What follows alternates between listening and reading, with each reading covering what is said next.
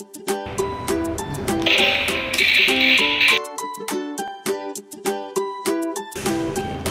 ถังสามก้อนนะครับ บริเวณนี้คือเปิดปิดนะฮะตอนนี้เป็นเปลี่ยนเปลี่ยนสีมีสีสี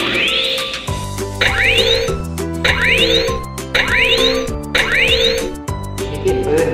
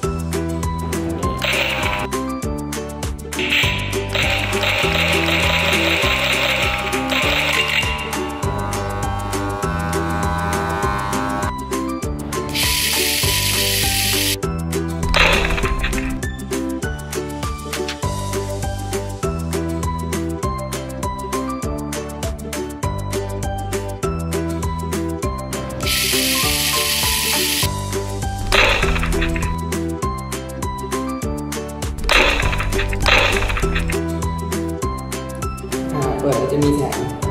ยิงมันก็จะหมุน